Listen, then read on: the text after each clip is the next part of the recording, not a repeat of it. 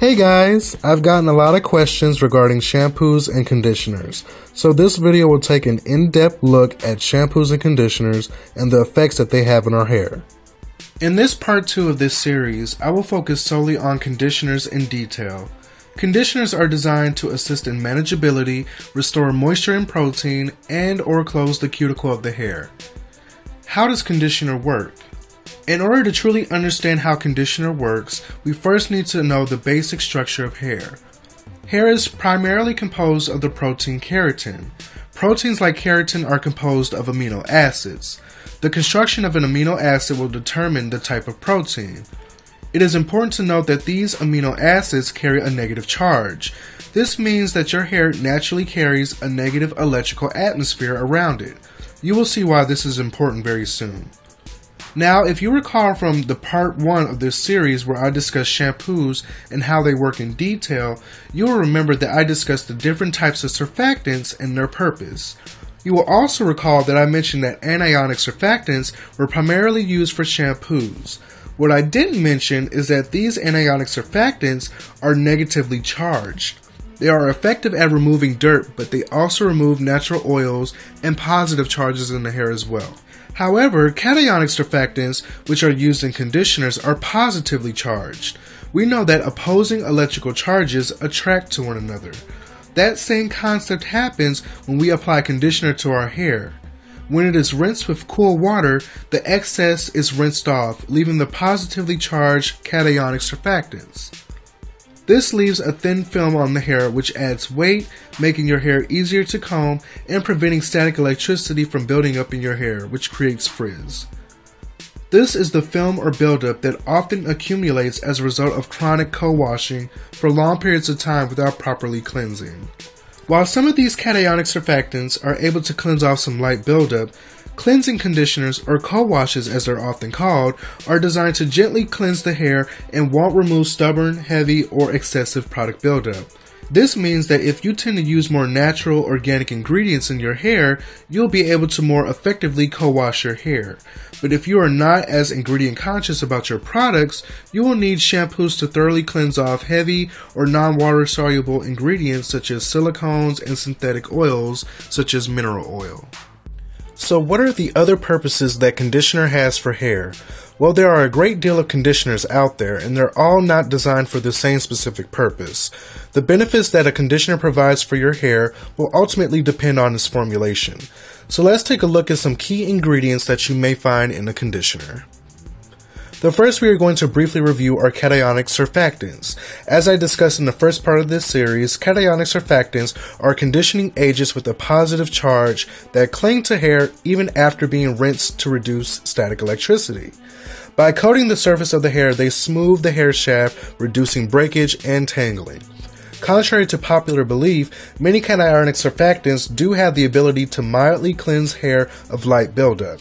And again, I took the liberty of listing some examples of each type of ingredient if you would like to compare them to some of your products. The ones listed in bold are typically the most common in hair products. Next are polymers, which are also considered cationic surfactants since they are typically positively charged as well. Their purpose is to coat and smooth the surface of the hair, which adds shine and manageability. The next type of ingredients are natural oils, which most of us naturals should be especially familiar with. Carrier oils such as the ones listed here cover the hair and form a protective coating that adds shine, seals in moisture, and minimizes breakage. More importantly, Oils such as olive, avocado, and coconut contain molecules that are small enough to be absorbed into the inner cortex of the hair, where it can improve hair's elasticity and strength. Next, we have humectants, which are responsible for moisture and moisture retention. Humectants are ingredients that attract and retain moisture around itself by absorbing it onto its surface. And yes, people, cetyl and cetearyl alcohol are in fact conditioning moisturizers. Just because you see the word alcohol in the ingredient list doesn't mean you should throw away the product out the window. Next up are acidifiers. Their main purpose is to help regulate the conditioner to a desirable pH level. Being that shampoo tends to have a higher pH, it's important to always follow up with the conditioner to be able to bring the hair back down to its natural pH level, which is at 4.5 to 5.5. I'll go more into detail about hair and pH in another Cosmetology 101 video, but for now just know that acidifiers are there to help normalize hair to its optimal pH level. Next are silicones, which coat the hair to reduce friction, breakage, frizz, while providing protection from heat styling and adding a shiny or glossy finish to the hair. Now, a lot of people view silicones in a negative light because they are humidity blockers, which is great if you're avoiding frizz. But if you suffer from dry hair, it can make it difficult for your hair to absorb moisture as effectively as it normally could. It doesn't block out moisture from the hair entirely, since moisture can still evaporate out from the inside of your hair over time, even when using products with silicones. However, the problem is that those that don't shampoo their hair regularly will find that silicones don't work well with their regimen. If you are someone like me that shampoos every one to two weeks, then silicones won't have such a detrimental effect of preventing you from being able to effectively moisturize your hair. Also, not all silicones have to be cleansed with a sulfate or clarifying shampoo. There are a few that are water soluble and can be rinsed from your hair with just water. The last type of ingredients I'm going to discuss with you are reconstructors. They usually contain some form of protein and deeply penetrates the cuticle layer to rebuild gaps within the amino acid structure deep within the cortex layer of the hair. This results in restoring strength, elasticity, and luster to hair. We now know what are in conditioners, but what are some of the different types of conditioners out there? Different formulations of the ingredients we just covered will determine the type of conditioner. Let's take a look at some of the general types out there.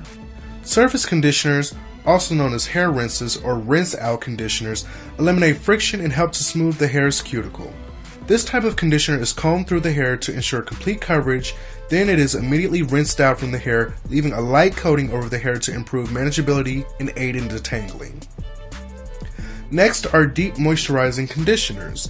They are intensive moisture treatments that contain a high concentration of humectants. This deep conditioner is usually left on the hair for a longer period of time to ensure optimal penetration into the cuticle. Deep moisturizing conditioners are essential for dry or damaged hair types. Deep reconstructing conditioners are also deep penetrating conditioners, but these contain a more balanced mixture of humectants and reconstructors.